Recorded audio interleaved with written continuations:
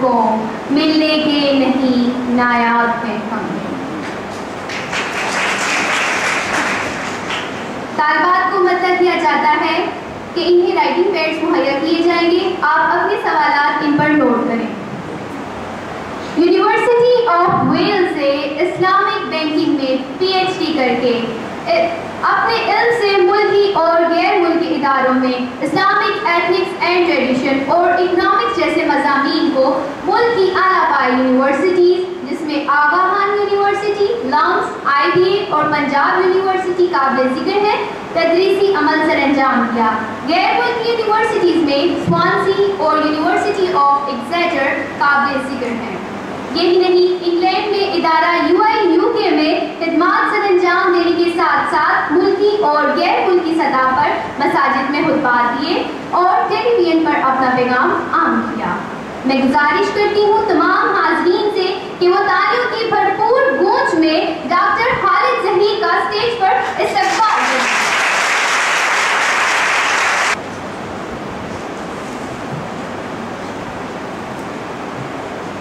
اللہ الرحمن الرحیم محترمہ ڈاکٹر اکبر سلیم صاحبہ خواجہ مسعود اختر صاحب سیرت اسٹڈی سینٹر کے منتظمین۔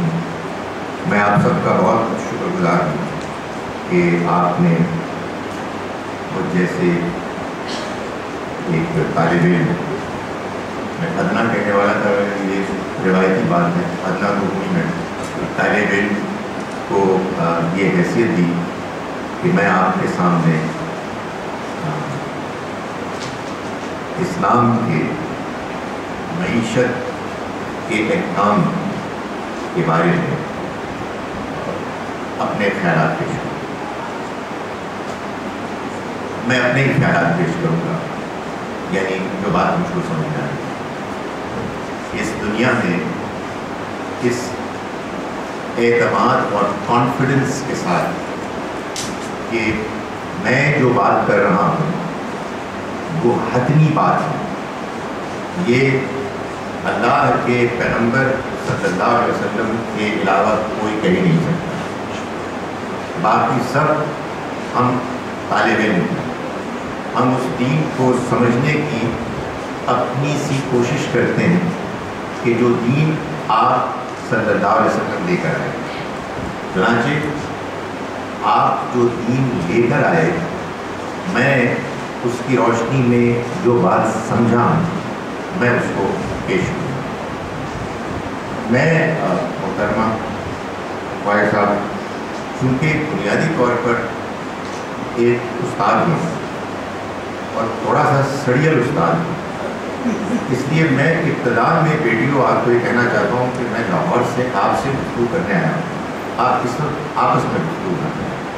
میں، میری کنسنٹریشن ختم ہو جائے میں آپ کو دیکھ رہا ہوں اور آپس میں اگر آپ گفتگو کریں گے تو میں اپنے، اپنا سبق، جس کو کہتے ہیں نا رٹا، تو بھول جاؤں گا۔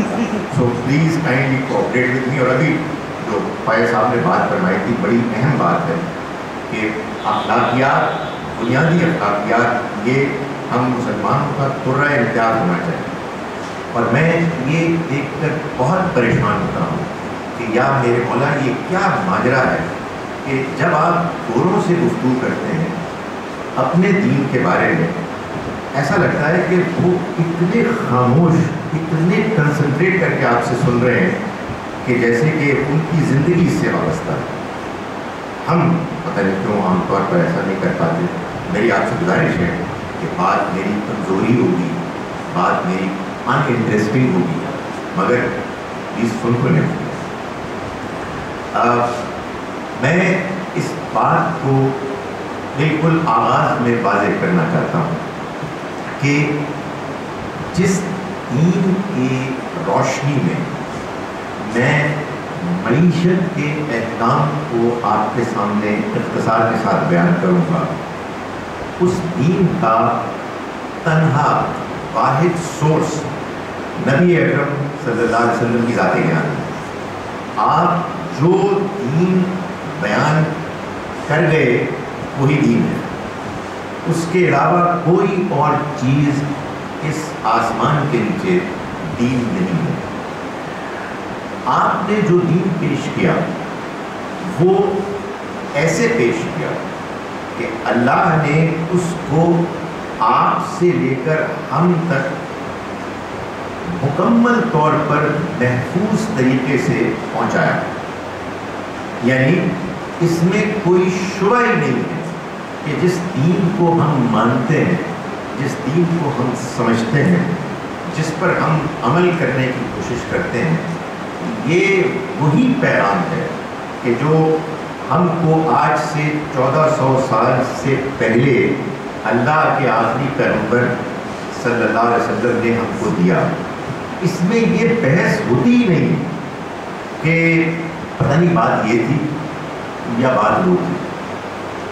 اگر کہیں اختلاف ہوتا ہے تو اختلاف اس چیز میں ہوتا ہے کہ جو بات ہم کو مل گئی، اس کا مفہوم کیا ہے؟ اس کو کیسے سمجھا جائے؟ یہ بات کہ آپ کا بتایا ہوا دین ہم کو ملا ہے مکمل اوتھینٹسٹی کے ساتھ۔ پورے اطمینان کے ساتھ کہا جا سکتا ہے کہ وہ معتبر ہے۔ بعض اوقات میں گفتگو کرتا ہوں کہ موٹے موٹے لفظ بات سمجھ میں نہیں آ رہی۔ یعنی میں کہنا یہ چاہتا ہوں کہ اس کے بارے میں یہ شبہ ہی نہیں ہو سکتا۔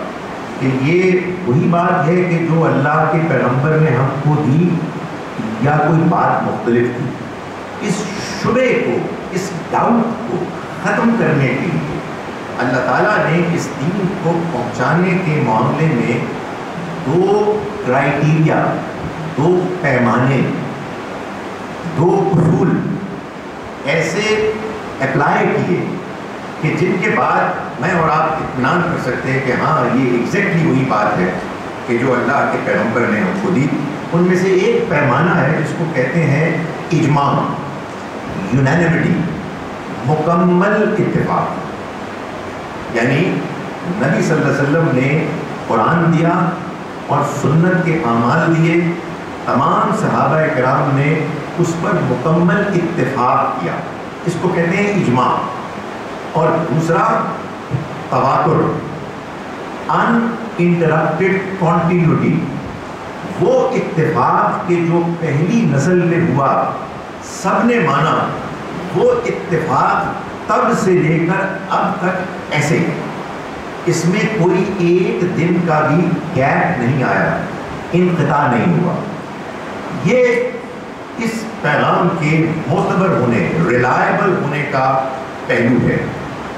یہ دین نبی اکرم صلی اللہ علیہ وسلم نے ہم کو دیا دو شکلوں میں، ایک قرآن کی صورت میں اور ایک سنت کی صورت میں۔ قرآن کے بارے میں بھی الحمدللہ مسلمانوں میں کوئی اختلاف نہیں۔ وہ مسلمان جن کو آپ اور ہم سب اس میں شامل کیے اور جانتے ہیں، بہت اختلاف کرتے ہیں۔ اختلاف کرنا روزمرہ کا ہمارا معاملہ ہے۔ لیکن یہ اللہ کا کرم ہے قرآن میں قرآن مجید کے بارے میں کوئی اختلاف نہیں۔ اسی طرح سے سنت، نماز، روزہ، حج، زکوٰۃ، اور اس طرح کے بہت سے معاملات کے جو آپ نے عمل کر کے دکھائے، ان کے بارے میں کوئی اختلاف نہیں یہ میرا موضوع اس وقت نہیں ہے، لیکن صرف ایک جملے کے طور پر میں کہہ رہا ہوں کہ جہاں اختلاف ہے، وہاں اختلاف کی گنجائش رکھ دی گئی۔ لیکن جہاں اتفاق ہے، وہاں اختلاف ہو ہی نہیں سکتا۔ جو کہتے ہیں نماز میں اختلاف ہے۔ نماز کے اتفاقات پر کبھی آپ غور فرمائیں تو آپ یہ جانیں گے کہ یہ محض اتفاق سے نہیں ہو سکتے سو یہ دین الحمدللہ ہم کو ملا ہے پورے اتفاق سے اور ایک کانٹینیوٹی سے، جس میں کوئی انٹرپشن نہیں۔ اس کے علاوہ یہ بات بڑی فطری ہے کہ نبی صلی اللہ علیہ وسلم نے اس دین پر عمل کیا۔ آپ اس کے بہترین نمونہ تھے بہترین اگزامپل تھے اس میں سوالوں کے جواب دیے۔ لوگوں کو مختلف موقعوں پر سچویشنز میں آپ نے چیزیں ایکسپلین کی۔ یہ بعض لوگوں نے بعد میں آگے بیان کی۔ اور تیسری صدی ہجری میں ان کو کتابی شکل میں بعض ہمارے علماء محققین نے بڑی محنت اور خلوص کے ساتھ مرتب کر کے امت کے سامنے احادیث کی کتابوں کی صورت میں پیش کر دیا یہ ایک تیسری سورس ہے کہ جو اصل دو سورسز کے تحت ہمیں دین کو مزید سمجھنے میں مدد دیتی ہے۔ یہ گویا کہ اس کی شرح ایکسپلینیشن ہے، اس کی فرا کرولری ہے، یہ اس کا فٹ نوٹ ہے۔ یہ جو دین ہے یعنی قرآن اور سنت اور پھر اس کی وضاحت حدیث، جو ہم کو نبی اکرم صلی اللہ علیہ وسلم سے ملا ہے۔ اس دین کے بارے میں خود قرآن نے یہ بتایا کہ اس کے جو کنٹینٹس ہیں نا، اس میں جو کچھ بیان ہوا ہے، اس کے مشمولات ہیں، اس کے دو حصے ہیں۔ ایک کو کہتے ہیں کتاب اور دوسرے کو کہتے ہیں آپ کہیں گے سننا، نہیں، کتاب اور حکمہ۔ سنت اصل میں سورس ہے۔ میں اب آپ کو اس کے جو کنٹینٹس ہیں، اس میں جو کچھ بیان ہوا ہے میں ان کی دو کیٹیگریز بتا رہا ہوں جو خود قرآن نے بیان کی۔ کتاب اور حکمہ حکمت قرآن مجید کے بیان کے مطابق وہ اخلاقی اصول ہیں جن کو تمام انسان پیدائشی طور پر اس دنیا میں لے کے آتے ہیں۔ جس کی طرف خواہ صاحب نے بھی اشارہ کیا۔ اللہ تعالیٰ نے فرمایا کہ وہ نفسم وما فَأَلْحَمَهَا فُجُورَهَا وَتَقْوَاهَا۔ یہ انسان کا نفس، یہ جو میرے باطن کی شخصیت ہے پرسنالٹی اس کو اللہ تعالیٰ نے اس کا تصویہ کیا، اس کو فنشنگ ٹچز دی، اس کو اس کے نو پلٹ سوارے ہے نا وہ عمارت ہے، پہلے ذرا رو سی ہوتی ہے، پھر آپ اس پر پینٹ کرتے ہیں، اس میں اور چیزیں ڈالتے ہیں تو فنشنگ ٹچز دیتے ہیں تو اللہ تعالیٰ نے ہماری شخصیت کو فنشنگ ٹچز دی پرفیکشن دی۔ اور اس میں کیا کیا؟ اس میں تقوی اور فجور، نیکی اور بدی، اچھائی اور برائی اس کو الہام کر دیا۔ یہ میں اور آپ اور تمام دنیا کے انسان، مسلم ہو یا غیر مسلم، یہ اس دنیا میں لے کر یہ وہ چیز ہے کہ جس کو قرآن مجید نے کہا یہ حکمت ہے۔ اور قرآن اس میں سے پانچ چیزوں کو بیان کرتا ہے۔ ایک سوال پیدا ہوتا ہے کہ کیوں کرتا ہے؟ جب ایک چیز پہلے سے معلوم ہے تو اس کو بیان کرنے کی کیا ضرورت ہے؟ کیا یہ ایسے ہی نہیں ہے کہ میں آپ کو کہوں گی کہ میں نے آپ کو اردو میں لیکچر دینا ہے؟ تو آئیے سب سے پہلے الف بے بے سیکھتے ہیں۔ تو آپ کہیں گے کہ پلیز یہ نام ہمیں بتائیے پہلے سے معلوم ہے۔ آپ وہ بات بتائیں کہ جو آپ نے کوئی نہیں بتانی ہے۔ مگر قرآن نے وہ بات بتائی ہم کو۔ جو قرآن کا کہنا یہ ہے کہ ہم پہلے سے جانتے ہیں، اور میں کیوں؟ اس لیے کہ بھول جاتے ہیں۔ اور کیوں بھول جاتے ہیں؟ اس لیے بھول جاتے ہیں کہ یہ دنیا کی زندگی اللہ نے آزمائش کے لیے بنائی ہے۔ اور آزمائش کے مقصد کے لیے اس نے ہم کو آزادی دی۔ اور آزادی میں انسان اپنی آزادی کو غلط استعمال کرتا ہے۔ کیوں غلط استعمال کرتا ہے؟ اس لیے کہ دنیا بڑی رنگین ہے۔ دنیا میں برائی بڑی اٹریکٹیو ہے۔ برائی کرنے کے موقع ہیں۔ اور اندر احساس ہے کہ برائی برائی ہے اور اچھائی اچھائی۔ ہے تو انسان نظر انداز کر دیتا ہے۔ انسان بھلا بیٹھتا ہے۔ انسان کے اوپر غفلت کے پردے پڑ جاتے ہیں۔ چنانچہ اللہ نے اپنے پیغام میں اس حکمت کو بیان کر کے دوبارہ یاد کرایا ریمائنڈ کرایا۔ اسی لیے آپ دیکھیے کہ قرآن اپنے بارے میں کہتا ہے کہ یہ از ذکر ہے، یہ از ذکر ہے، یہ ایک ریمائنڈر ہے، یہ ایک یاد دہانی ہے۔ ریمائنڈ تو وہی چیز کرائی جاتی ہے جو آپ آلریڈی جانتے ہیں۔ تو قرآن نے اس کو ہمیں یاد کرایا۔ اور یہ میں عرض کروں، یہ دین کی اصل بنیاد ہے۔ یعنی اخلاقیات، وہ جو آپ پہلے سے جانتے ہیں اچھا انسان بننا اگر یہ حکمت نہیں آئے گی انسانیت نہیں آئے گی، اخلاق نہیں آئے گا، تو پھر آپ دین میں آگے بڑھ نہیں سکتے۔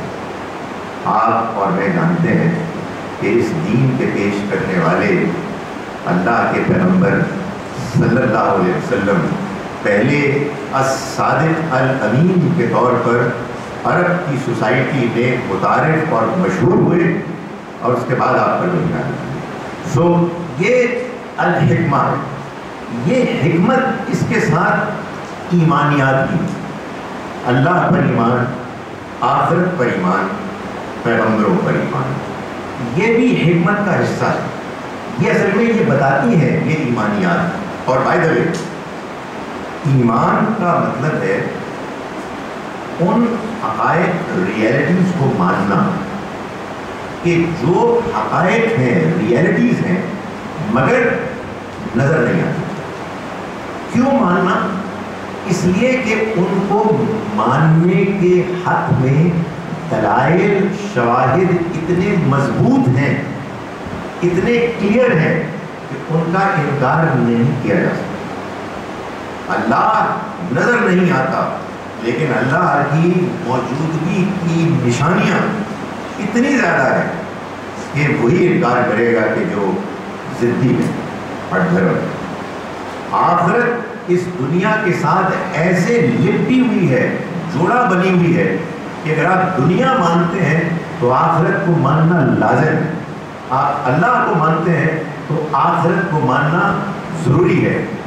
جو نہیں مانتا، وہ پھر کوئی دنیا میں اتنا زیادہ خواہش کے پیچھے چل رہا ہے کہ اس کو اس میں دلچسپی نہیں۔ سو یہ اخلاق ہے، جس کو قرآن کہتا ہے حکمت۔ تو دین کے دو حصے ہیں دو کیٹیگریز ہیں۔ الکتاب الحکمہ۔ حکمت میں نے آپ کو بتا دیا، یہ در حقیقت انسان پہلے سے جانتا ہے، اس کی فطرت میں وہ پیوست ہے، موجود ہے۔ ڈیزائن کے طور پر۔ میں نے میں نے پہلے سوچا کہ ان بچوں کو سمجھانے کے لیے کوئی آئی ٹی کی اصطلاح استعمال کروں، مگر وہ یاد ہی نہیں ہے۔ بوڑھا آدمی ہوں یاد نہیں ہے۔ بڑا زور لگایا۔ پھر میں نے کہا دوسرا چلا دیا اینی وے سو یہ آپ کے اندر آپ کے ڈیزائن میں کبھی بھی نہیں بڑا زور لگا رہا ہوں اوکے یہ ایک اور ان بلٹ بھی ہے۔ ان بلٹ بھی ہے۔ وہ بھی نہیں ہے۔ اینی وے نہیں ہے تو نہیں ہے۔ الحمد للہ جو آ رہا ہے ذہن میں اسی کو بیان۔ اب اس کے علاوہ دین کا دوسرا حصہ ہے جس کو الکتاب کہا۔ گیا الکتاب سے مراد یہ جو لفظ ہوتے ہیں نا، ان میں بعض اوقات زبان میں ایک سے زیادہ مفہوم ہوتا ہے۔ یعنی مثال کے طور پر ایک لفظ ہے عین۔ عین یہ نون عین۔ اس کا مطلب ہے آنکھ اور اس کا مطلب ہے، پانی کا چشمہ۔ یہ دونوں اسی ایک لفظ کے مطلب ہیں۔ قرآن میں دونوں بیان ہوئے ہیں۔ لیکن جہاں آنکھ مراد ہے وہاں معلوم ہو گیا سراک سواب سے کہ آنکھ مراد ہے اور جہاں پانی کا چشمہ مراد ہے وہاں سراک سباق سے معلوم ہو جاتا ہے کہ پانی کا چشمہ مراد ہے۔ تو قرآن مجید جب یہ کہتا ہے کہ نبی اکرم صلی اللہ علیہ وسلم کو الکتاب والحکمہ، اس نے تعلیم دی، کتاب اور حکمت کی تو یہاں سیاق سباق سے معلوم ہے کہ کتاب سے مراد کتاب نہیں ہے بلکہ قانون ہے لا جس کے لیے ایک فیل ورب استعمال ہوتا ہے جو آپ نے بہت سنا رمضان کے مہینے میں، ایمان والو کتبہ علیکم السلام تم پر روزے لکھ دیے گئے، فرض کر دیے گئے۔ سو یہ لکھ دیے گئے، یہ وہی کتاب ہے، یہ قانون ہے، جس کو ہم شریعت بھی کہتے ہیں، جس کو ہم احکام بھی کہتے ہیں، جس کو اب مجھے آپ کے سامنے بیان کرنا ہے یہ جو کتاب ہے شریعت، یہ حکمت کے ہوتے ہوئے کیوں دی جاتی ہے؟ اس کی وجہ یہ ہے کہ انسان اپنی فطرت اور عقل کی روشنی میں ایک اچھی اخلاقی زندگی گزار سکتا ہے۔ اور لوگ گزارتے بھی ہیں۔ پیچھے کی بچیاں کچھ میری بات کو نہیں سمجھی کہ بات نہیں کرنی۔ گزارتی بھی لیکن اس کے باوجود بعض اوقات یہ ہوتا ہے کہ انسان کنفیوز ہو جاتا ہے۔ انسان غیر واضح ہوتا ہے۔ بعض پیچیدہ معاملات میں انسان سمجھ نہیں پاتا۔ تو اللہ تعالیٰ نے ایسے بعض معاملات میں اپنا فیصلہ سنایا جس میں انسان ان کلیئر ہو جاتا ہے۔ انسان اپنی عقل اور فطرت کے باوجود صحیح فیصلے تک نہیں پہنچتا۔ یہ اللہ کی طرف سے جو فیصلہ ہے، جو ہر ہر کنفیوزنگ چیز، ہر ڈبیٹیبل چیز، ہر اس چیز کے بارے میں نہیں ہے کہ جس میں انسان بات نہیں سمجھ پاتا، بلکہ اللہ نے اپنی حکمت کے مطابق چند چیزوں کے بارے میں یہ فیصلہ کیا کہ اس میں وہ اپنا فیصلہ سنائے گا۔ اس کے اس فیصلے کو الکتاب، قانون، شریعت کے تو اللہ تعالیٰ نے اپنے دین میں حکمت کو بیان کیا، جو پہلے سے ہمارے اندر کا قانون ہے، اور اس قانون کو بھی بیان کیا کہ جو اس نے خارج سے واضح کیا کہ اس طرح کے معاملات میں اللہ کا یہ فیصلہ ہے۔ چنانچہ، معیشت میں بھی اللہ تعالیٰ نے بعض احکام بیان کی یعنی معیشت، کاروبار پیداوار ڈسٹریبیوشن اس میں بہت سے معاملات تو وہ ہیں جو انسان اپنے اخلاق میں پہلے سے جانتا ہے۔ وہ کیوں جانتا ہے؟ اس لیے کہ اللہ نے کام کر دیا۔ ہے ہر انسان جانتا ہے۔ آپ نے جھوٹ نہیں بولنا ہے۔ آپ نے جس چیز کا وعدہ کیا ہے، اس کو پورا کرنا ہے۔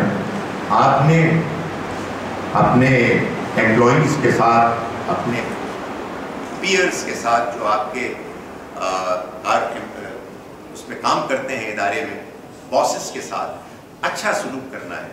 آپ نے جو وعدہ کیا ہے، جو معاہدہ کیا ہے، اس کو پورا کرنا ہے اینڈ سو آن یہ اخلاقیات اتنی واضح ہے کہ آج کے دور میں جب یونیورسٹیز ایم بی اے یا بی بی اے کی ڈگریز آفر کرتی ہیں، تو اس میں ایک مضمون ہوتا ہے۔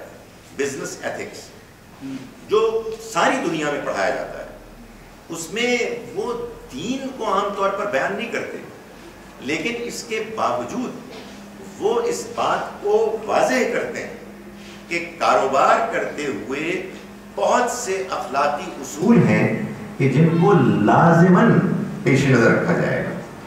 تو وہ ظاہر ہے کہ معیشت کے معاملے میں بھی اسی طرح سے وہ اصول موجود ہیں۔ مگر بعض چیزیں ایسی ہیں کہ جن میں انسان یا تو غیر واضح ہو جاتا ہے یا ان کو اہمیت نہیں دیتا۔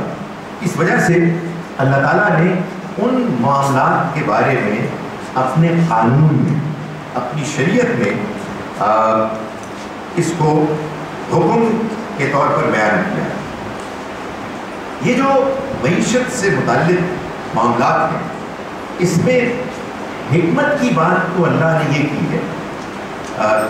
دو باتیں کی ہیں۔ ایک مثبت طریقے سے اور ایک منفی طریقے سے۔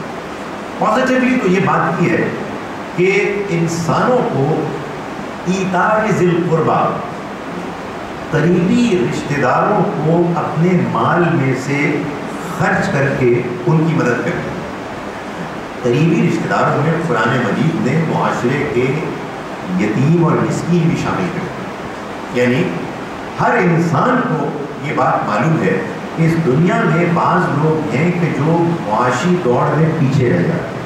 ان کے پاس ان کی ضرورت کو پورا کرنے کے لیے وہ سامان، وسائل میسر نہیں ہوتے کہ جو دوسروں کے پاس ہیں اور زیادہ ہیں تو اللہ نے یہ ایک اصولی بات جو ہماری فطرت میں موجود ہے یہ بیان بھی ہے کہ اچھا انسان کو ہوتا ہے کہ جو دوسروں پر خرچ کرتا ہے اور دوسروں سے مراد اپنے قریبی لوگ۔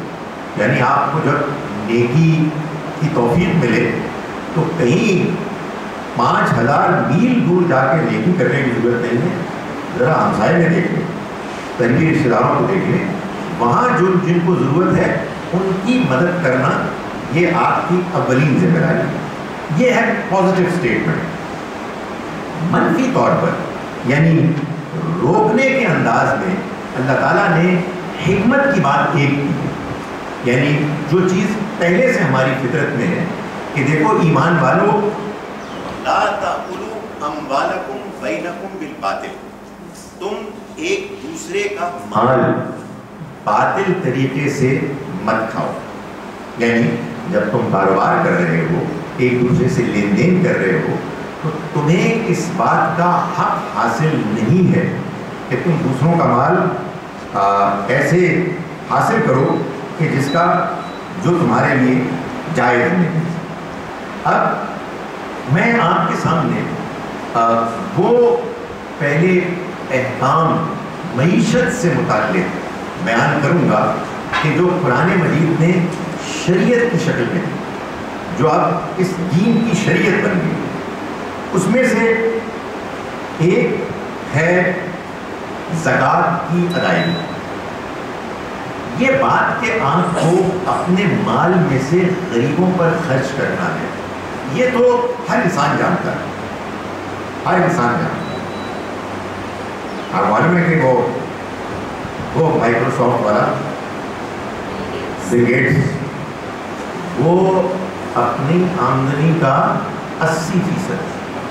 خرچ کرتا ہے۔ غریبوں کو تو مسلمان نہیں ہے۔ اللہ نے فطرت دی۔ اس کی روشنی میں کرتا ہے۔ وہ کہتے ہیں کہ وہ جو ہے دوسرا جو آپ کا وہ ننانوے فیصد کرتا ہے۔ جو آپ واٹس ایپ والا ہے وہ ننانوے فیصد کرتا ہے۔ مائی گڈنس یعنی یہ یہ کمال ہے یہ اللہ کی دی فطرت ہے۔ کہ ہم اپنے اوپر نہیں خرچ کریں گے، ہم لوگوں پر، بیماری کو دور کرنے کے لیے، غربت کو دور کرنے کے لیے، تعلیم کے لیے۔ یہ فطرت ہے۔ یہ تو فطرت ہے۔ لیکن بھائی، ایک سوال پیدا ہوتا ہے کہ کم سے کم کتنا؟ ایک منیمم لمٹ ہونی چاہیے۔ یہ میں اور آپ طے نہیں کر سکتے۔ اس کو طے کیا اللہ تعالیٰ نے؟ اور یہ بتایا کہ وہ کم سے کم خرچ وہ زکات ہے اس سے کم اگر تم نے خرچ کیا تو پھر تمہارا یہ خرچ کرنا قبول نہیں کیا جائے۔ کم سے کم زکوٰۃ ادا کرنی ہے، یہ قانون بن گیا۔ اسی طرح سے اللہ تعالیٰ نے یہ بتا دیا کہ انسان جب زکوٰۃ دے دیتا ہے، اس کے بعد جو اس کے پاس مال ہے، وہ اس کا مالک ہے، وہ اس کو استعمال کر سکتا ہے۔ یعنی یہ ہمارے یہاں جو بعض اوقات یہ ایک لوگوں کے یہاں خیال ہوتا ہے کہ غربت کو مٹانے کے لیے سارے لوگوں کے اثاثے غصب کر لو، چھین لو۔ یہ اللہ نے اپنے دین میں اجازت نہیں دی ہے۔ انسان اپنا مال غریبوں پر کم سے کم خرچ کرنے کے بعد بقیہ مال کا مالک بن جاتا ہے۔ لیکن کسی بھی قوم، ملک میں بہت سے ایسے اثاثے ہوتے ہیں ایسٹس ہوتے ہیں، جن کا کوئی بھی مالک نہیں ہوتا، بلکہ وہ قومی ملکیت ہوتے ہیں۔ اس ان اثاثوں کو، اس مال کو بالخصوص غریبوں کی بہبود کے لیے خرچ ہونا چاہیے۔ یہ بھی قرآن سے معلوم ہے۔ یہ بھی ایک قانون کے طور پر قرآن میں بات بیان کر دی گئی اس کے علاوہ اللہ تعالیٰ نے یہ بتایا ہے کہ جب کوئی شخص مر جاتا ہے، اس کے چھوڑے ہوئے اثاثے کیسے تقسیم کیے یہ بھی میں اور آپ طے نہیں کر سکتے۔ کریں گے جھگڑے ہو کبھی ایک شخص غیر مطمئن ہوگا، کبھی دوسرا اعتراض کرے۔ گا تو اللہ تعالیٰ نے اس جھگڑے کو ختم کرنے کے لیے بھی اپنا قانون بیان کر دیا، جو میں بار بار کہہ رہا ہوں کہ قانون بات وہی کرتا ہے جہاں انسان از خود سے کوئی فیصلہ نہیں کر سکتا۔ چنانچہ اللہ تعالیٰ نے فرمایا کہ لا تدرون اقرب لکم نفع۔ تم نہیں جانتے کہ تم میں سے کون ایک دوسرے کے لیے نفع کے لحاظ سے بینیفٹ کے لحاظ سے زیادہ قریب ہے۔ تو اللہ نے ایک تفصیلی قانون وراثت بیان کر دیا اسی طرح سے اللہ نے یہ بتا دیا کہ جب تم قرض لو گے قرض دو گے تو تم لکھو گے اس کو جب تم وصیت کرو گے اس کو لکھو گے اور اس پر گواہ ٹھہراؤ۔ گے یہ بھی اللہ نے قانون کے طور پر بیان کر دیا۔ یہ ہے معیشت کے بارے میں دین اسلام کی شریعت کے جو پازیٹیولی بیان، مثبت طریقے سے۔ تین باتیں ہیں جو شریعت میں نگیٹیولی بیان، جن سے روکا گیا۔ ان میں ایک یہ ہے کہ وہ چیزیں یا وہ کام کہ جو دین میں ناجائز ہیں، ان کا کاروبار بھی ناجائز۔ شراب ناجائز ہے، کاروبار بھی ناجائز۔ سور ناجائز ہے، کاروبار بھی ناجائز بے حیائی ناجائز ہے، کاروبار بھی ناجائز ایک یہ بات بھی دوسرا یہ قانون بیان کیا گیا ہے کہ جوا حرام جوا لوگ کھیلتے ہیں، ان کو بڑی اس میں ایکسائٹمنٹ ہوتی ہے، کچھ پیسے کماتے ہیں، کچھ پیسے ڈوبتے ہیں کچھ کے اللہ تعالیٰ کہ یہ رجسم من عمل شیطان ہے یہ شیطان کے عمل کی گندگی ہے۔ جس سے لوگوں کے درمیان جھگڑے ہوتے ہیں اور اللہ کی یاد سے یہ حرکت روک دی تو چنانچہ شریعت اسلامی میں اس کو بھی ناجائز قرار دے دیا اور تیسری اور آخری چیز کہ جو اللہ کی شریعت میں معیشت کے معاملے میں ناجائز قرار دی گئی ہے، وہ ہے سود، ربا۔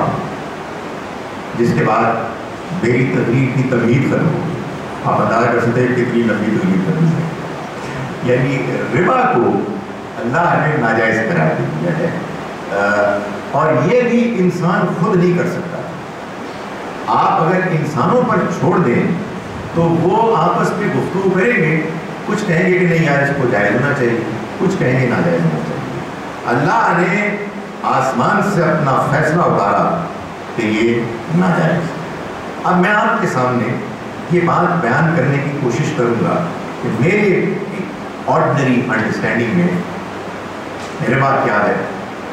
اس کو حرام کیوں کیا گیا؟ ہے اور دور جدید میں اس کی غربت کے بعد بغیر ربا کے غیر سودی معاملات کیسے ہو سکتے ہیں؟ سب سے پہلے ربا کیا ہے؟ آپ مجھ کو قرض دیں قرض کی ایک ویلیو دیں میں اماؤنٹ نہیں کہہ رہا ہوں۔ اماؤنٹ پہ گڑبڑ ہے۔ قرض کی ایک ویلیو دیں اور مجھ سے کہیں کہ بھائی صاحب، آپ نے جو بھی کرنا کریں۔ اپنے ذاتی استعمال کے لیے یا کاروبار کے لیے۔ آپ نے ایک مدت گزر جانے کے بعد میری اس ویلیو میں ایک طے شدہ اضافہ لازمن کر کے دیں اس کو کہتے ہیں ربا، سود انٹرسٹ یہ صرف زبانوں کا فرق ہے۔ بات ایک انگریزی میں وہ انٹرسٹ ہے، اردو میں وہ سود ہے اور عربی میں وہ روا ہے۔ یہ اللہ تعالیٰ نے ناجائز قرار دیا۔ اس کو ناجائز کیوں قرار دیا؟ قرآن مجید نے خود اس کو بیان کیا۔ لا تظلمون ولا تظلمون۔ نہ تم ظلم کرو گے نہ تم پر ظلم کیا جائے۔ نہ تم زیادتی کرو گے نہ تم پر زیادتی کی جائے۔ کیا زیادتی ہے؟ مطلب میں لوگوں کو کہتا ہوں کہ یار اللہ کے دین کو سمجھنے میں آدمی کو اپنی عقل استعمال کرنی چاہیے۔ جس کو اللہ تعالیٰ نے خود کہا ہے کہ اپنی عقل کو استعمال کرو۔ جب عقل استعمال کرو گے تو تمہیں بات سمجھ میں آئے اور اگر سمجھ میں نہ آئے تو سوال پوچھو، تحقیق کرو، اس سے تمہارے علم میں، تمہارے اعتماد میں، تمہارے ایمان میں اضافہ ہو۔ یہ ظلم ہے، تو پھر ایسا کیوں ہوتا ہے کہ ہمارے ہاں لوگ بینکوں سے سود پر قرضہ لینے کے لیے لائنیں لگائی ہوئی ہوتی ہیں؟ انہوں نے اور بینک کہتا ہے کہ ہم نے سب کو نہیں دینا۔ کوئی بندہ کہہ سکتا ہے کہ جی آپ ہم پہ ظلم کریں تو ہم آپ کے آپ کے ظلم کے فیصلے کے لیے بے چینی سے منتظر نہیں۔ ظلم تو ظلم ہوتا ہے۔ یہ تو نہیں ہو سکتا کہ آدمی کہہ رہے ظلم ہے، ذرا مجھے کوئی دس کوڑے نہیں لگاتے آپ پلیز تو ایسا نہیں ہو سکتا۔ تو یہ ظلم ہے کیا اس میں؟ یعنی اگر سود کو اللہ نے حرام کیا اور اس کو خود بیان کر دیا کہ یہ زیادتی ہے، اور معلوم یہ ہوتا ہے کہ یہ کیسی زیادتی ہے کہ جس زیادتی کو پانے کے لیے لوگ بےتاب ہیں، تو کچھ مسئلہ سمجھ میں نہیں آیا۔ میں اپنی آرڈنری انڈرسٹینڈنگ آپ کے سامنے پیش کرتا ہوں کہ دیکھیں، اس میں جو ظلم، زیادتی بد اخلاقی کا پہلو ہے وہ یہ ہے کہ جب آپ مجھ کو ایک خاص لون دیتے ہیں، ایک ویلیو کا ویلیو سمجھتے ہیں؟ یعنی یہ میں اماؤنٹ نہیں کہہ رہا، وہ ویلیو جو مثال کے طور پر سونے میں ایکسپریس ہو سکتی ہے، جس کی ایک قوت خرید ہے۔ جب آپ مجھ کو دیتے ہیں کہ میں اس کو کاروبار میں استعمال کروں۔ تو ہمارے یہاں بہت کامیاب کاروباری حضرات موجود ہیں۔ اور وہ آپ کو یہ بتائیں گے کہ بعض اوقات ایسا ہو جاتا ہے کہ آپ کاروبار میں پوری دیانت پوری محنت اور اپنی قابلیت کے ساتھ منصوبہ بندی کر کے کاروبار چلاتے ہیں۔ اور کوئی ایسی وجہ کہ جو آپ کے اختیار سے باہر ہوتی ہے، آپ کے کاروبار کو متاثر کرتی ہے، ناکام کرتی ہے۔ ہاں، حکومت کی پالیسی بدل جاتی ہے۔ خارج میں آپ کی شے کی طلب ڈیمانڈ ختم ہو جاتی ہے، کم ہو جاتی ہے۔ ورکرز اسٹرائک کر جاتے ہیں۔ ناگہانی آفت آ جاتی ہے۔ اینڈ سو آن بہت سے سینکڑوں ایسی وجوہات ہیں کہ جن کی وجہ سے بعض اوقات آدمی کا کاروبار ناکام ہو جاتا ہے۔ بغیر اس کے کہ انسان نے اپنی طرف سے کوئی بےمانی کی ہو یا کوئی نالائکی کی ہو۔ لیکن آپ مصر ہیں۔ آپ کو اصرار ہے کہ میں نہیں پتا۔ مجھے کوئی دلچسپی نہیں ہے۔ مجھے اپنی اصل بھی چاہیے ہے اور مزید اضافہ بھی چاہیے۔ یہ یہ گھڑیا بات یہ سب، یہ جاتی ہے۔ بھائی جب تک مجھے منافع ہو رہا ہے، میں آپ کو منافع دیتا ہوں، کوئی مسئلہ ہی نہیں میں خود بھی کما رہا ہوں، آپ کو بھی شامل کر رہا ہوں۔ لیکن آپ یہ کہہ رہے ہیں پہلے سے کہ نہیں، مجھے نہیں پتا۔ مجھے اس سے کوئی دلچسپی نہیں ہے کہ آپ کو کامیابی ہو رہی ہے، ناکامی ہو رہی ہے۔ آپ کو، آپ کا کاروبار آسمان پر چڑھ جائے یا آپ کا کاروبار بھاڑ میں رہے۔ مجھے اپنی اصل اور اس میں دس فیصد اضافے سے دلچسپی ہے۔ خدا تعالیٰ نے آسمان سے اپنا فیصلہ سنایا کہ یہ غلط یہ نہیں ہو سکتا۔ اس چیز کو قبول نہیں کیا جائے۔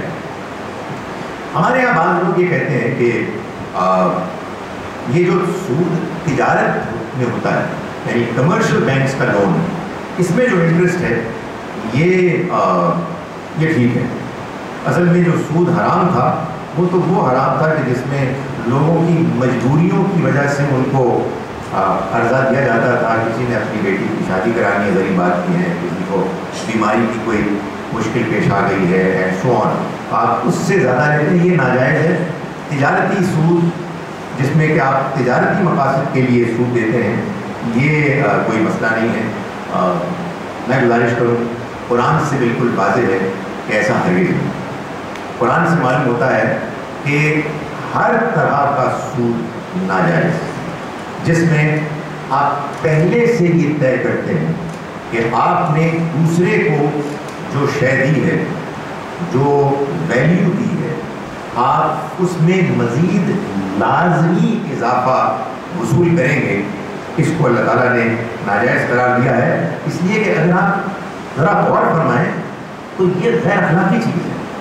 آپ کو یہ معلوم ہے کہ آپ کا بھائی نقصان سے دو چار ہو سکتا ہے، لیکن آپ کہتے ہیں آپ کو اس میں کسی کسی پریشانی کا کوئی امکان نہیں ہے، آپ کو اپنے مال سے دلچسپی میں صرف آپ کو سمجھانے کے لیے کہ یہ جو اللہ نے اپنی شریعت میں سود کو، ربا کو حرام کیا ہے، اس کی اس کی حکمت مسلحت کیا ہے کرائے اور سود کے درمیان فرق سے سمجھانا۔ یہ مسئلہ ہے۔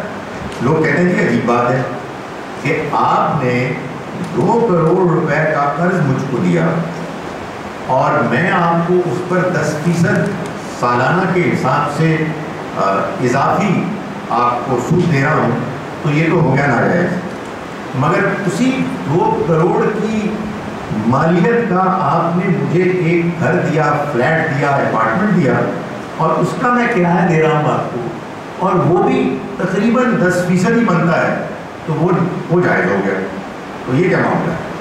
تو میں گزارش کروں کہ اس معاملے کو اگر آپ سمجھ لیں، تو امید ہے کہ آپ کو سمجھ میں آ جائے گا کہ اللہ تعالیٰ نے سود کو کیوں ناجائز کیا ہے اور کرایہ کو کیوں جائز کیا ہے۔ دیکھیے، جب آپ مجھ کو، آپ ایک ایک فلیٹ ایک اپارٹمنٹ دیتے ہیں جو لیٹ سے دو کروڑ کا اور میں اس کو استعمال کرتا ہوں۔ تو جب تک مجھے اس کو استعمال کرنا ہے، میں اس کے استعمال کا ریٹرن اس کی خدمت کا جو معاوضہ ہے، وہ آپ کو دیتا ہوں۔ اور جب میرا موڈ ہوتا ہے کہ میں اس کو نہیں، مزید رکھنا چاہتا، میں اس کو واپس آپ کو دے دیتا ہوں۔ اور کوئی اور چیز نہیں لیتا اگر فرض کیجیے کہ خدا نخواستہ کوئی ایسا موقع آ جائے کہ جس میں آپ کی کوتاہی کے بغیر وہ اپارٹمنٹ تباہ ہو جائے۔ ہو جاتا نا معذرت اللہ معاف کرے، کوئی زلزلہ آ گیا، یا کوئی اور ایسی ناگہانی آفت آ گئی۔ تو اپارٹمنٹ آپ کا ہے، فلیٹ آپ کا ہے۔ آپ مجھ سے یہ مطالبہ نہیں کر سکتے۔ کہ میں آپ کا اپارٹمنٹ آپ کو دوں بھائی میرا اس میں قصور کیا ہے۔ میں تو گیا ہوا تھا پکنک منانے۔ واپس آیا تو وہ زمین پہ گرا ہوا تھا۔ تو میں اب آپ کو میں اپنی جیب سے نکال کے آپ میں کیوں دوں بھائی اپارٹمنٹ آپ کا تھا۔ اور یہ سب مانتے ہیں کہ کرایہ دار سے اس کو وصول نہیں کیا جا سکتا۔ اس لیے کہ مالک کوئی اور ہے۔ لیکن سود کے معاملے میں یہ عجیب تماشا ہے کہ دو کروڑ آپ کے آئے میرے کاروبار میں۔ میں نے دیانتداری سے اس کو استعمال کیا۔ نقصان ہو گیا۔ آپ کہتے ہیں میری اصل بھی دو اور مزید اضافہ بھی دو۔ نہیں یہ جائے یہ ٹھیک نہیں۔ اس کو اللہ تعالیٰ نے واضح فرما کیا چنانچہ یہ وہ چیز ہے کہ جس سے معلوم ہوتا ہے کہ کرایہ بالکل ٹھیک ہے۔ یہ ایک جائز مناسب چیز ہے، لیکن سود یہ انجسٹیفائڈ اب ایک اور چیز دور جدید کی ہے، جو آپ آئی شور آپ سب باشعور ہیں۔ آپ کو معلوم ہے کہ ایک چیز ہے، ایک فینومنن ہے، ایک حقیقت ہے، جس کو کہتے ہیں انفلیشن سنا تو ہوگا آپ نے نام۔ انفلیشن عام طور پر پڑھ کے آپ کہیں گے دفعہ کر کوئی اور چیز ہو نام تو سنا ہوگا۔ یہ پتا کہنا افراد زر۔ اس کا مطلب یہ ہے کہ قیمتیں بڑھ رہی ہیں اور آپ ایک سال پہلے اپنے ہزار روپے سے جتنی اشیاء خریدتے تھے، وہی ہزار روپے آج آپ جب بازار میں لے کے جاتے ہیں تو کم چیزیں آتی ہیں۔ آٹا کم آتا ہے، چینی کم آتی ہے اور اور اشیاء۔ تو دور جدید میں انفلیشن یا افراد زر یہ ایک حقیقت ہے۔ تو کیا اس حقیقت کے موجودگی میں ہم اگر اضافی رقم لیں، اس سے کہ جو فالوور جو عین اس کے مطابق ہے کہ جتنی انفلیشن ہے، تو کیا یہ بھی سود ہوگا؟ یہ مسائل میں سے ایک مسئلہ ہے کہ جو دور جدید میں پیدا ہوا۔ ہے میں ایک بڑے ہی آرڈنری ایک اسٹوڈنٹ کی حیثیت سے کہہ رہا ہوں کہ نہیں، یہ سود نہیں اس لیے کہ جو چیز آپ جس چیز سے آپ کو روکا گیا ہے وہ یہ ہے کہ آپ دوسرے سے اصل سے زیادہ ہے یہ جو کرنسی ہے نا، روپیہ، جس میں تصویریں بنی ہوئی ہوتی ہیں، ایک کاغذ کا ٹکڑا ہوتا ہے، اس کی کوئی حیثیت نہیں ہے۔ اس کی کوئی ویلیو نہیں ہے، سوائے اس حیثیت کے کہ جو وہ ظاہر کرتی ہے جب آپ اس کو بازار میں لے جا کے اس سے چیزیں خریدتے ہیں۔ اگر آپ اس روپے کو اپنے ملک سے باہر لے جائیں، تو یہ آپ کی جیب پر ایک بوجھ ہوتا ہے۔ یہ ٹیشو پیپر سے بھی کم قدر و قیمت کا ہوتا ہے۔ میں کہنا یہ چاہتا ہوں اس کی کوئی حیثیت نہیں۔ سوائے اس کے کہ اس سے آپ اشیاء خریدتے ہیں۔ تو چنانچہ جب کوئی مجھے قرض دیتا ہے تو اصل میں مجھے وہ رقم نہیں دیتا جس کی مثال کے طور پر دو کروڑ اماؤنٹ ہوتی ہے۔ یہ تو ایک نمبرز ہیں جو ہم نے اپنی انڈرسٹینڈنگ فہم کے لیے اختیار کر لیے۔ اصل میں وہ دو کروڑ روپے کچھ اشیاء خرید سکتے ہیں، اس کی قوت خرید ہے تو جب میں ان دو کروڑ کو واپس کروں گا، تو مجھے اصل میں اپنے لینڈر کو قرض دینے والے کو اس کی وہ قوت خرید واپس کرنی چاہیے کہ جو اس نے مجھ کو دی تھی میری ناقص انڈرسٹینڈنگ میں اللہ نے جو عدل کا تقاضا کیا ہے یہ اس کے عین مطابق ہے۔ لیکن ظاہر ہے اس میں اختلاف ہو سکتا ہے۔ میں نے آپ کو اپنی بات بیان کرنا آخر میں یہ کہنا اس لیے ضروری ہے تاکہ لوگوں کو تسلی ہو۔ کہ مولوی صاحب تسلی ختم کر دیں۔ آخر میں لیکن یہ نہ سمجھیں کہ بس اب آدھے سے میرا ختم ہو جائے۔ مطلب یہ کہ آپ تقریباً آپ سمجھیں آخری اشرا آ گیا۔ الحمد للہ مجھے تبصرہ کرنا ہے۔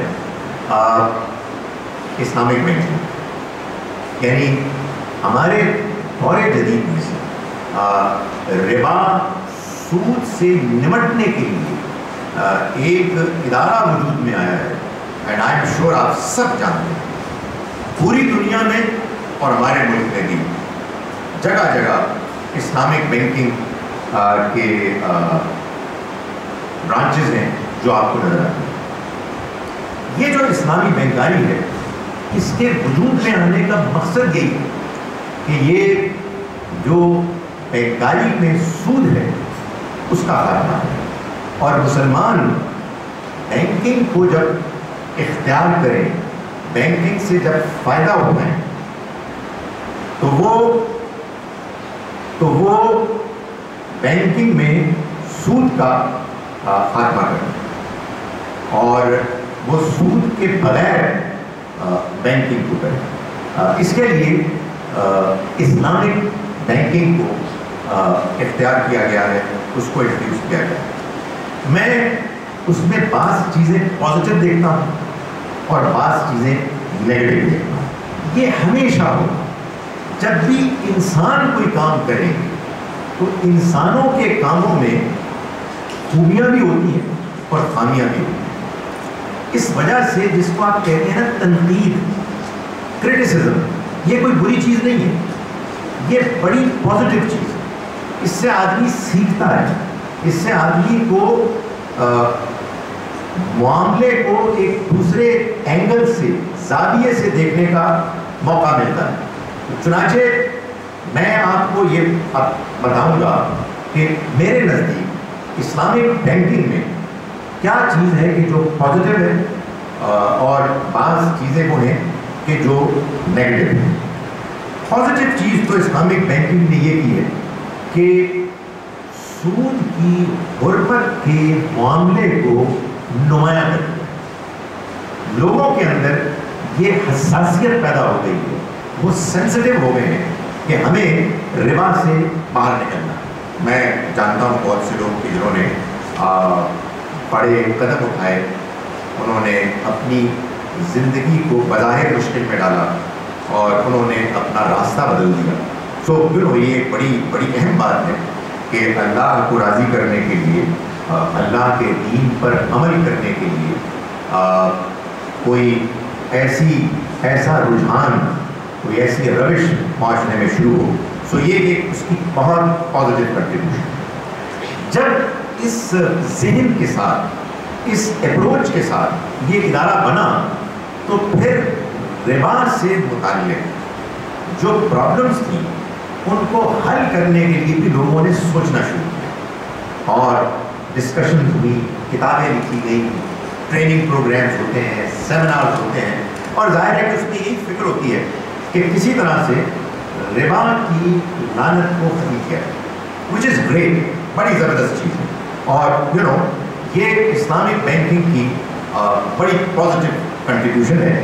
اور یقیناً انہوں نے بہت سے ایسے معاملات بہت سے ایسے جن کو کہتے ہیں نا پروڈکٹس انٹروڈیوس کیے، جس سے کہ آپ یہ محسوس کر سکتے ہیں کہ بات اب قدرے قابل اطمینان ہو گئی ہے۔ لیکن اسلامک بینکنگ کے کچھ مسائل بھی میں اختصار کے ساتھ آپ کے سامنے پیش کر رہا ہوں۔ ایک یہ کہ یہ مجھے بات پسند نہیں ہے کہ آپ اپنے کاروباری ادارے کے ساتھ اسلام کا نام شامل کریں۔ ایسا لگتا ہے کہ اسلام کو کمرشلی یوز کیا جا رہا ہے۔ کہ لوگ کہتے ہیں کہ آپ مسلمان ہیں تو یہ کریں اور اگر آپ کچھ اور ہیں تو آپ یہ کریں۔ میرا خیال ہے کہ آج اسی کے ساتھ عمل طریقے سے یہ کہنا چاہیے کہ یہ ہم نے بلا سود طے کر یعنی اسلام کہنے کا مطلب یہ ہے کہ یہ اسلام ہے۔ ہم جانتے ہیں کہ اسلامی بینکاری پر خود مسلمان علماء کی بڑی تنقید ہے۔ اس لیے ایک تو مجھے اس سے کچھ بے چینی پریشانی۔ دوسرا یہ کہ اس میں بعض اوقات بعض غیر ضروری طور پر عربی اصطلاحات استعمال کی جس کی کوئی ضرورت نہیں۔ جس سے خواہ خواہ بہت سے لوگ یہ سمجھتے ہیں کہ جو چیز عربی میں ہے، وہ بالکل ٹھیک ہے۔ چنانچہ مرابہ یہ عربی کا لفظ ہے، حالانکہ اس پہ بہت ڈبیٹ ہے کہ ٹھیک بھی ہے کہ نہیں ہے۔ سو یو نو اس میں یہ ایک ایک پرابلم ہے کہ جس کو ایڈریس کرنا چاہیے۔ تیسری چیز یہ ہے کہ جو دوسری بینک تاریخ جس کو آپ ٹریڈیشنل بینکنگ کہتے ہیں۔ ان کے اور اسلامک بینکنگ کے درمیان ایک خواہ خواہ کی ایک خلیج، ایک ڈسٹنس ہائی ہو گیا ہے۔ اور اب محسوس یہ ہوتا ہے کہ ٹریڈیشنل بینکنگ بالکل غلط ہے اور اسلامک بینکنگ یہ ہے کہ جو اصل راستہ ہے۔ اور میں اب آخر میں یہ بات اس سوال کا جواب دینا چاہتا ہوں کہ کیا جو موجودہ کنونشنل بینکنگ ہے کنونشنل بینکنگ سے مراد وہ بینکنگ کے جو اسلامک بینکنگ کے علاوہ جو عام مروجہ بینکنگ ہے، جو دنیا میں ہر جگہ ہو رہی ہے اسلامک بینکنگ کے علاوہ کیا یہ اسلام کے مطابق نہیں ڈھالی جا سکتی؟ میں اس کا جواب دیتا ہوں کہ بالکل ڈھالی جا سکتی اس کا بالکل امکان ہے۔ اور وہ امکان اب بہت روشن ہو گیا ہے۔ اور میں اس بات کو مزید واضح کرتے ہوئے، لیکن اختصار کے ساتھ میں یہ کہہ رہا ہوں کہ کنونشنل بینکنگ میں اگر ایک اصول کا اضافہ کر دیا جائے وہ اصول کہ جو پہلے ہی سے ان کے ہاں مان لیا گیا ہے، ایک عملی تجربے کے نتیجے میں، کہ اگر وہ شخص کے جس کو قرضہ دیا جاتا ہے، اگر وہ شخص کہ جس کو قرضہ دیا جاتا ہے، اس کے بارے میں یہ بات معلوم ہو جائے کہ وہ کسی ایسی وجہ کی بنیاد پر کہ جو اس کے اختیار سے باہر ہے، وہ قرضہ واپس دینے کی پوزیشن میں نہیں ہے۔ تو اس کو مجبور نہیں کیا جائے کہ وہ اصل رقم کے علاوہ کوئی ایک پائی بھی دے۔ گا ایک پائی بھی دے۔ گا اگر یہ اصول طے کر لیا جائے، تو پھر بینکنگ اسلام کے مطابق۔ میں نے آپ سے گزارش کی اپنی پریزنٹیشن میں کہ اصل مسئلہ یہ ہے کہ آپ مقروض سے جب وہ واپس کرنے کی پوزیشن میں نہیں ہوتا، جب آپ یہ تقاضا کرتے ہیں، اس کو مجبور کرتے ہیں کہ وہ اصل سے زیادہ اپنی جو راس المال پرنسپل ہے، وہ اماؤنٹ دے، تو یہی وہ چیز ہے کہ جس کو اللہ تعالیٰ نے ناجائز قرار دیا ہے، آپ کو مجبوری کی صورت میں ایک پائی لینا بھی حرام ہے۔ یہ اگر طے ہو جائے تو پھر بینکنگ اسلام کے مطابق ہو سکتی ہے۔ اور میں آپ سے گزارش کروں کہ موجودہ بینکاری نے اس حقیقت کو جان لیا ہے کہ ایسا کرنا چاہیے۔ مغرب میں بھی اب ایسا ہونا شروع ہو گیا ہے۔ صرف ان کے اس احساس کو مزید واضح کرنا چاہیے اور اس اصول کو ہر جگہ اپلائی کرنا چاہیے۔ اگر ایسا ہو جائے گا، تو انشاءاللہ ہم یہ دیکھیں گے کہ اللہ تعالیٰ نے جو ابتدا سے بات بیان فرمائی تھی کہ ربا ناجائز ہے، ربا حرام ہے، ربا غیر اخلاقی چیز ہے، یہ وہ چیز ہے کہ جو پوری دنیا میں رائج ہو سکتی ہے۔ اقول قولی حاضر ہاں، استغفر اللہ اب کچھ کوشچنز ہیں جو لکھے ہوئے میرے پاس آئے ہیں۔ اجازت ہے؟ اب پہلا سوال یہ ہے کہ کرنسی نوٹ کے قرض میں واپسی تک تو اس نوٹ کی ویلیو بالکل ختم ہو جائے گی، تو کیا آپ کے نزدیک قدر کی کمی صورت میں زیادہ نوٹ لینا جائز ہوگا؟ اگر ایسا ہے تو قدر کی کمی کا معیار کیسے قائم کریں گے؟ دیکھیں بالکل ختم ہو جائے گی، وہ مانتا ہے ایسا کیسے ہو سکتا ہے؟ کہ میرے کو نوٹ میں قیمت بھی کوئی بھی نہیں ہے۔ کم ہو جائے گی سر، کم ہوتی ہے، ختم ہوتی ہے۔ تو میں نے اسی کا آپ کو حل بتایا ہے۔ کہ جتنی کم ہوئی ہے اس کو کمپنسیٹ کر دیں۔ میں گزارش کروں کہ حدیث میں بھی یہی بات بیان ہوئی ہے۔ جو سونا لیا ہے، جتنا وزن، جتنی کوالٹی وہی واپس کرو۔ نہ کم، نہ زیادہ۔ کیسے کریں؟ موجودہ دور میں اس کے لیے ٹولز وجود میں آ گئے ہیں۔ انڈکسیشن اس کو کہتے ہیں۔ یہ جو کنزیومر پرائس انڈیکس ہے سی پی آئی یہ ایک معیار ہے۔ اعلان ہوتا ہے کہ اس سال پاکستان میں اتنا انفلیشن رہا۔ اس میں اختلاف بھی ہو سکتا ہے۔ میں نے اصول بیان کر دیا۔ تفصیل پر مجھے اصرار نہیں ہے۔ اصول کیا دین کے مطابق ہے یا نہیں، اس پر غور کرنا چاہیے۔ میں نے اپنی ناقص رائے بتائی کہ یہ دین کے عین مطابق ہے۔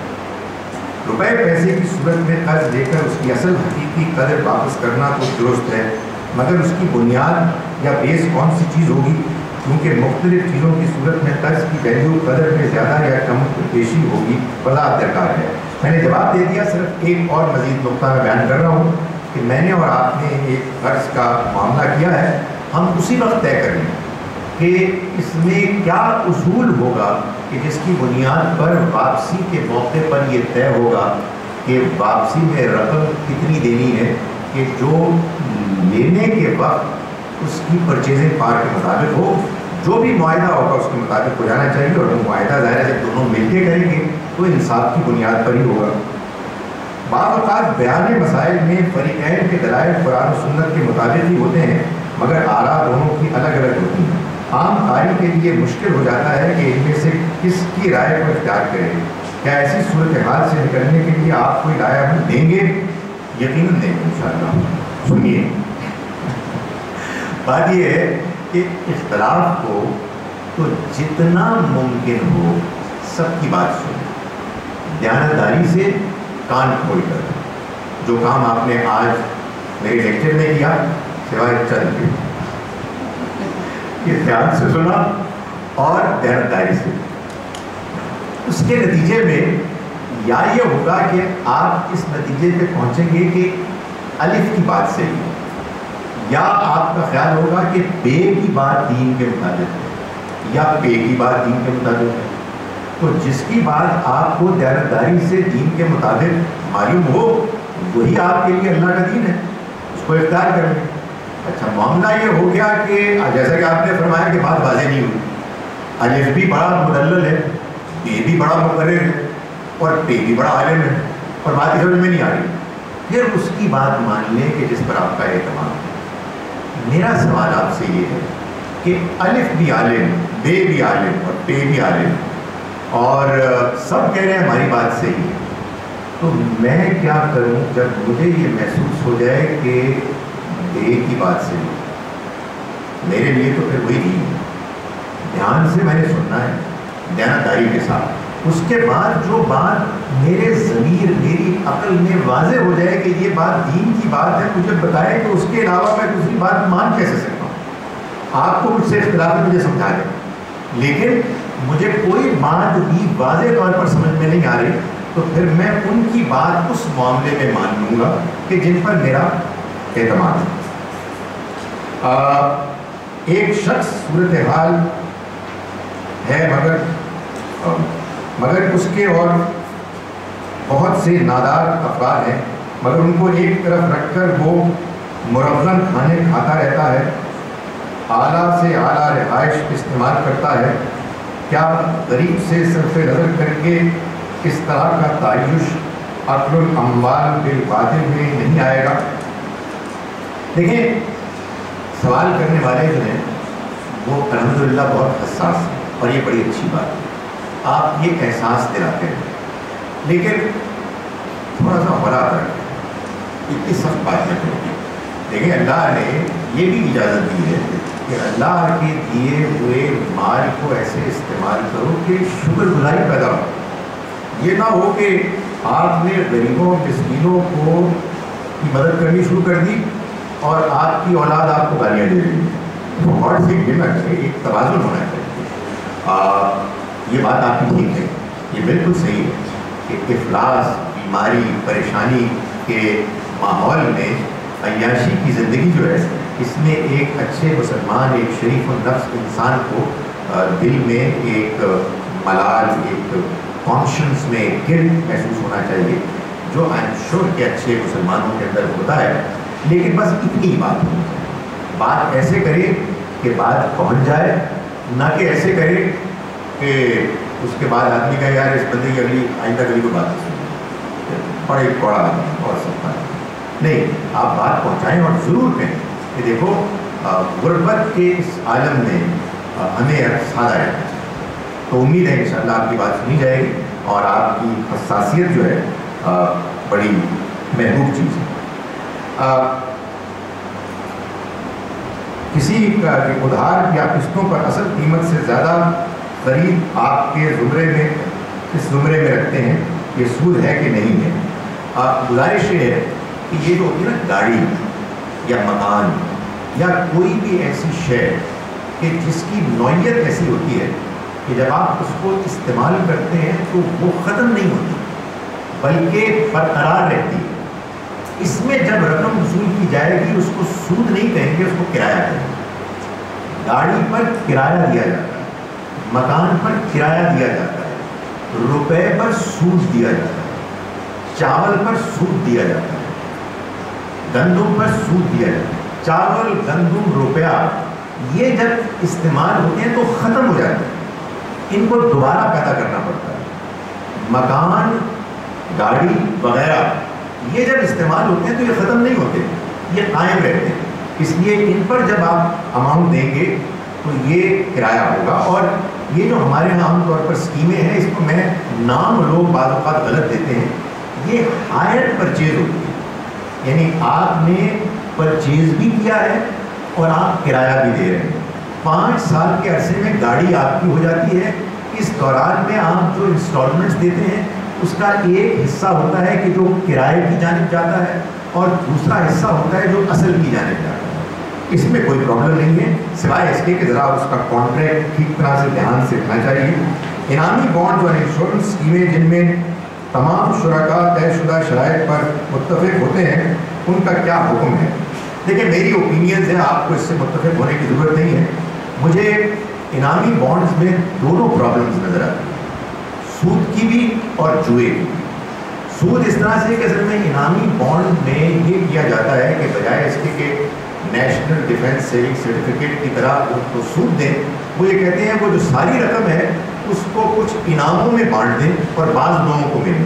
اور وہ بعض کو ملے گی قسمت کی بنیاد پر۔ تو یہ تو کچھ جوا بھی ہوا، کچھ سود بھی ہوا۔ واللہ عالم ثواب میں یہ کوشن کروں گا کہ اس کو اوائڈ کیا جائے۔ انشورنس کے دو پہلو۔ ہیں انشورنس کا ایک پہلو یہ ہے کہ وہ آپ کو کسی ناگہانی آفت پر آپ کی مدد کرتے ہیں۔ ایک پہلے سے طے شدہ معاہدے کی بنیاد پر میں جتنا ایک سمجھا ہوں، اس میں کوئی فرق نہیں۔ اس میں جو پرابلم ہے وہ یہ ہے کہ اکثر انشورنس کمپنیز جب آپ ان کو اپنا پریمیم دیتے ہیں، تو وہ آپ کی اور بہت سے دوسرے پالیسی ہولڈرز کی پریمیم کی رقم کو سودی بنیادوں پر انویسٹ کرتے ہیں۔ یہ اس کے اندر ایک قباہت بنتی ہے، جس کو کہ دور کرنے کی کوشش کرنی چاہیے۔ میرا خیال ہے کہ تکافل کمپنیز جو کہ اس کے متبادل کے طور پر آئی ہیں، ان میں یہ ایک خوبی ہے کہ وہ سود کے اس پہلو کو اوائڈ کرتے ہیں۔ میں اس وجہ سے یہ سمجھتا ہوں کہ عام انشورنس کمپنی سے اگر آپ فائر انشورنس یا اسی طرح کی اور کار کی ایکسیڈنٹ کی انشورنس وغیرہ کراتے ہیں، تو یہ تو ٹھیک ہے۔ آپ کہیں گے کیسے ٹھیک ہے جب اس میں سود ہے؟ بھائی، اس کو اوائڈ کیسے کر سکتے ہیں؟ میں جب مثال کے طور پر نمز میں پڑھاتا تھا تو مجھے تنخواہ ملتی تھی۔ اور وہ تنخواہ زیادہ امکان یہ ہے کہ ایک انڈومنٹ فنڈ سے ملتی تھی، جو انہوں نے انویسٹ کیا ہوا تھا انٹرسٹ بیسڈ انویسٹمنٹ کی بنیاد پر۔ وہاں سے سود آتا تھا اور میری تنخواہ جاتی تھی۔ تو بھائی، میں تو اسلامک اسٹڈیز پڑھا رہا تھا۔ تو مطلب میرا کیا قصور ہے؟ اتنا زیادہ نام مجھ کو آپ تنگ کریں کہ مجھے پاکستان چھوڑ کے جانا پڑے، اس لیے پاکستان سود پہ چل رہا ہے۔ تو ایک ریئلسٹک ویو ہونا چاہیے، آپ جواب دیں ہیں اس چیز پر کہ جو آپ کی ذمہ داری ہے۔ جو آپ کی پہنچ سے باہر ہے، میرا رب جانتا ہے کہ وہ میری ذمہ داری نہیں ہے۔ میں اس پہ پریشان ہوں گا۔ اپنے آپ کو آمادہ کروں گا کہ میں اگر کچھ کر سکتا ہے ان کو کروں۔ لیکن زندگی کو ناممکن نہیں بنانا چاہیے۔ اس وجہ سے میں سمجھتا ہوں کہ جو لائف انشورنس ہے، اس میں ایک پرابلم ہے اس میں جو ریٹرنز آنی شروع ہوتی ہیں، وہ ریٹرنز انٹرسٹ کی بنیاد پر عام طور پر ہوتی ہیں۔ اس کو اگر آپ اوائڈ کر سکیں تو باقی معاملہ اس میں کوئی حرض نہیں۔ بینکوں نے لوگوں کے اندر سود کی حرمت کا احساس تو پیدا کر دیا ہے یعنی اسلامک بینکوں نے۔ مگر کیا آپ سمجھتے ہیں کہ ان بینکوں کا فراہم کردہ سسٹم مکمل طور پر غیر سودی ہے؟ اگر نہیں ہے تو ایسے حساس لوگ پھر کیا کریں؟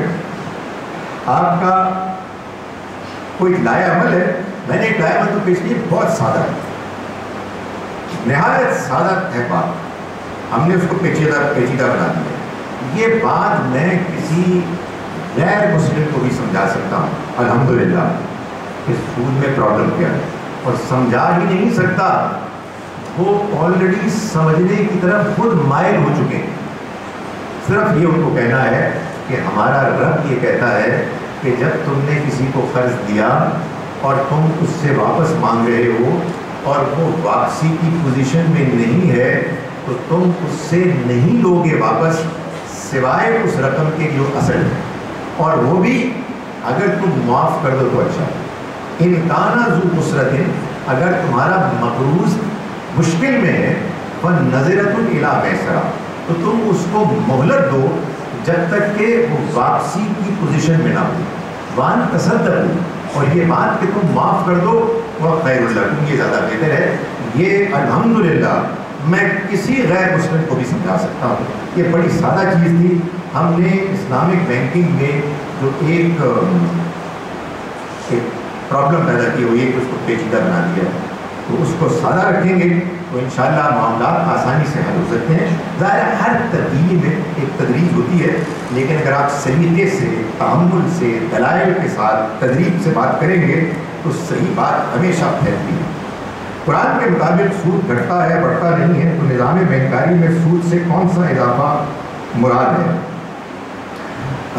جب قرآن اس طرح کی بات کرتا ہے، اس سے مراد حقیقی گھٹنا اور حقیقی بڑھنا۔ حقیقی گھٹنے سے مراد یہ ہے کہ خدا کی نگاہ میں، آخرت میں اور دنیا میں برکت کے لحاظ سو اللہ کے ہاں صدقہ بڑھتا ہے۔ دنیا میں اس سے آپ کو برکت ملتی ہے۔ برکت ایک بڑی وسیع چیز ہے۔ آپ کا کم مال آپ کے زیادہ کام آ جاتا ہے۔ جو آپ خرچ کرتے ہیں، وہ آپ کے لیے دنیا اور آخرت کے پہلو سے فائدہ مند ہوتا ہے۔ تو قرآن نے جب یہ کہا ہے کہ خدا کی نگاہ میں سود بڑھتا نہیں، گھٹتا ہے اور صدقہ بڑھتا ہے، یہ اصل میں اس کا وہ حقیقی مفہوم ہے، نہ کہ فگرز میں۔ انشورنس کی کوئی بھی صورت ہو، کیا وہ جائز ہے؟ نظام تقافل کا جو نظام رائے ہے، اس کی اسلامی حیثیت واضح کریں۔ میں نے گزارش کر دی کہ انشورنس کمپنیز میں سود کا معاملہ اگر ہٹا دیا جائے تو وہ ٹھیک ہے۔ تقافل اس کی کوشش کر رہے ہیں۔ اور اگر انہیں اس میں کامیابی حاصل کر لی ہے، تو آئی ایم شیور کہ وہ انشورنس کمپنیز کے مقابلے میں بعض پہلوؤں میں واضح طور پر سپیریئر ہے devaluation of money is a fact then saving certificates which promise profit, is it not halal? Because value will change after a certain time, three years, ten years.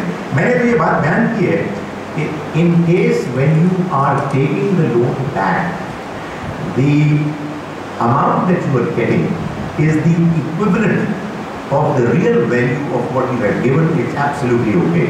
However, you've got to be careful.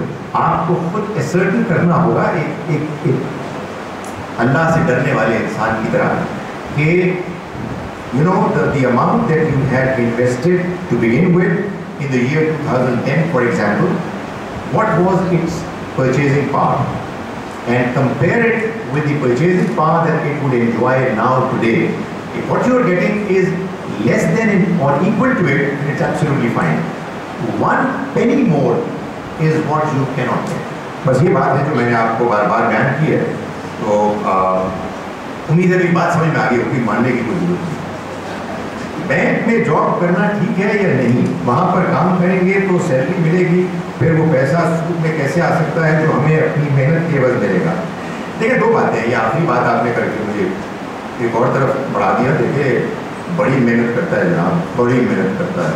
ڈاکو کیا بات ہے سننے جان لگا دیتا ہے۔ لیکن بارہ نہ جائے تو محنت کافی نہیں ہوتی۔ لیکن میں، اللہ معاف کرے نہیں کہہ رہا کہ بینک میں کام کرے۔ ہمارے یہاں بینکس ایک ریئلٹی ان کو ہمارا سسٹم سپورٹ کر رہا ہے۔ اس میں انفلیشن کا بھی ایک فیکٹر ہے۔ اس میں بہتری کے بھی امکانات ہیں۔ تاہم، باہر ایک پرابلم تو ہے نا کہ اس میں سود موجود ہے۔ اس لیے جو احتیاط کرے وہ تو ظاہر ہے کہ پھر اپنے آپ کو کوشش کریں گے کہ کسی متبادل کی تلاش کریں۔ لیکن جو جہاں موجود ہیں تو ایک اور قرآن نے بات بیان کی ہے کہ اگر انسان بعض اوقات مجبور ہو اور اس کے پاس متبادل نہ ہو، تو اگر وہ غیر باغن والا عالم، بغیر شوق اور رغبت کے، اور اتنا جتنا اس کی ضرورت ہے، اس کو اگر وہ استعمال کرتا ہے فائن اللہ غفور رحیم تو اللہ معاف کرنے والا ہے، رحم کرنے والا ہے۔ میں جانتا ہوں بعض لوگوں نے ہمت کر کے قدم اٹھایا اور ان کے لیے آسانیاں ہوئیں اور بعض اوقات پھر ایک طویل عرصے تک بے روزگار رہے۔ اللہ تعالیٰ یہ بھی نہیں چاہتے اس دور میں حالات مختلف ہیں۔ اب ایسا اعلان حکومت کی طرف سے نہیں ہوا۔ جیسا اعلان اس زمانے میں اللہ کی طرف سے ہوا تھا قرآن مجید میں کہ اب بھی اگر تم سود نہیں چھوڑو گے، فاضلوں کے ہر دن من اللہ رسول تو اللہ اور اس کے رسول کے خلاف جنگ کے لیے تیار ہو جاؤ۔ یہ بیان اصل میں اس بات کا اعلان تھا کہ اب اگر جو سودی کاروبار کرے گا تو اس وقت مسلمانوں کی حکومت جو اللہ اور اس کے رسول کے تعلیمات کی روشنی میں قائم ہوئی ہے، وہ جنگ کرے گی ایسے لوگوں سے۔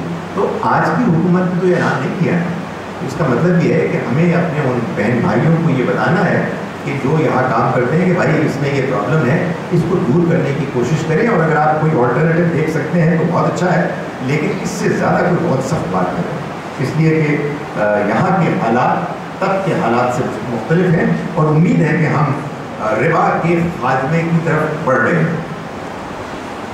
What will a woman do if she is a widow and has no child so she wants to invest her money in defence saving certificates what Islam says about it is it allowed لیکن یہ میں پہلے mention کر چکا ہوں کہ دیر are two things ایک تو یہ ہے کہ انفلیشنری افیکٹ کے نتیجے میں whatever additional amount you get apparently جو ظاہر میں نظر آ رہا ہے that is to me absolutely caution اس لیے کہ وہ it is offsetting the inflationary effect purchasing power کا آپ کو ریٹرن مل رہا ہے اور دوسرا یہ ہے کہ جو کیسز آپ بیان کر رہے ہیں وڈو کے اور پینشنرس کے چونکہ because they do not have an alternative arrangement of of revenue they because they are in difficulty they are mighty hopefully is going to be lenient in their case جائز تو ہم پھر بھی نہیں کہہ سکتے، مگر یہ اللہ ہی کی طرف سے اعلان ہے کہ جو مشکل میں کوئی ایسا کام کرتا ہے کہ جو ادروائز ناجائز ہے اور وہ کرتا ہے غیر بانو بلا عالم بغیر رغبت، شوق کے، اور اتنا جتنا اس کی ضرورت ہے، تو اللہ معاف کرنے والا ہے۔ Is the G P fund we get after our retirement type of interest اور ناٹ دیکھیں، اس میں بھی there are two points of view ایک پوائنٹ آف ویو یہ ہے کہ جی پی فنڈ جو آپ کو ملتا ہے، جس کو کہ آپ کے امپلائرز انویسٹ کرتے ہیں کسی انٹرسٹ بیس سیکورٹی میں۔ تو اس میں جو انٹرسٹ کا حصہ ہے وہ آپ کو نکال لینا چاہیے، ایک پوائنٹ آف ویو یہ۔ دوسرا پوائنٹ آف ویو یہ ہے کہ یہ جو کچھ بھی آپ کو ملتا ہے، یہ آپ کے امپلائرس کی طرف سے آپ کو ایک ایک فیسلٹی جیسے کہ میں نے گزارش کی کہ یو نو جو سیلری مجھ کو ملتی ہے، یہ سیلری میری محنت کا نتیجہ ہے، میری محنت کا معاوضہ ہے۔ اس میں اگر وہ سود سے بھی دیتے ہیں، تو یہ میرا ڈائریکٹ کنسرن نہیں۔ تو اسی طرح سے ایک پوائنٹ آف ویو یہ ہے کہ جی پی فنڈ میں بھی اسی اصول کو مان لینا چاہیے۔ اب پرابلی ایک صحیح بات یہ ہوگی کہ جو پہلا پوائنٹ آف ویو ہے، وہ احتیاط کے پہلو سے زیادہ بہتر ہے۔ لیکن اگر کوئی دوسرا پوائنٹ آف ویو کی اختیار کرتا ہے، تو اس کو آپ ناجائز نہیں کہہ سکتے جو لوگ مجبور نہیں ہیں، اگر وہ اصل سے زائد واپس کریں، تو کیا وہ ربا نہیں ہوگا؟ دیکھیں، یہ اگین ایک نئی بات آپ نے شروع کر دی۔ ربا لینا ناجائز ہے۔ ربا دینا تو وہ مجبوری ہے، وہ ایکسپلائٹیشن ہے کہ جس کی وجہ سے اللہ نے اس کو حرام کیا۔ ہے قرآن نے جہاں بھی ربا کی کنڈمنیشن کو بیان کیا ہے، وہاں یہ فرمایا ہے الزینہ یا قرون ربا وہ لوگ کہ جو سود کھاتے ہیں۔ سود دینے والے بھی مجرم ہیں۔ یہ بعض لوگوں کو اس لیے خیال ہوا کہ ایک حدیث میں بات بیان ہوئی کہ وہ لوگ کے جو آکل الربا و موکلو ربا کے کھانے والے اور ربا کے کھلانے والے دونوں برابر ہیں۔ تو لوگوں نے ربا کا کھلانے والا، ربا دینے والا سمجھا۔ میری اپنی اوپینین میں حدیث میں جو بات بیان ہوئی ہے وہ یہ ہے کہ ربا کا کھانے والا، ربا کا کھلانے والا یعنی اس کا ایجنٹ جو مجبور لوگوں کو، ضرورت مندوں کو اس کے پاس لے کے آتا ہے، اس کا لکھنے والا اس کی گواہی دینے والا یہ سب برابر ہے۔ جو دیتا ہے، وہ تو ظاہر ہے کہ وہ ہے کہ جس کے اس پوزیشن کی وجہ سے جس میں وہ ایکسپلائٹ ہو رہا ہے، اللہ نے اس کو حرام قرار دیا ہے۔ P L S saving account جائز ہے یا نہیں؟ ہے یہ پرانی بات تو یہ بھی ہے۔ پی ایل ایس سیونگ میں اگر آپ نے انویسٹ ایسے کیا ہوا ہے کہ جس میں وہ یہ گارنٹی دیتے ہیں کہ جو انویسٹمنٹ ہے، وہ انٹرسٹ بیس انویسٹمنٹ نہیں ہے، تو پھر ظاہر جائز ہے میری اپنی انڈرسٹینڈنگ یہ ہے کہ جب وہ ایسا دعویٰ کرتے ہیں، جب وہ ایسا دعویٰ کرتے ہیں، تو اس میں پچاس فیصد ٹروتھ ہوتی ہے۔ اور پچاس فیصد وہ کچھ ایسے پروڈکٹس میں کام کرتے ہیں کہ جن میں اور ربا میں کوئی فرق نہیں۔ الحمد للہ کے سوال۔